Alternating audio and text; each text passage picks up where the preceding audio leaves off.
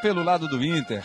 Do classificado Inter para as quartas de final, Vitor Bastos. Com o volante Williams.